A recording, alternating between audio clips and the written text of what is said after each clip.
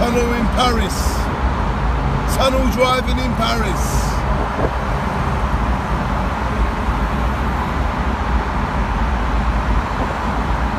Shine on.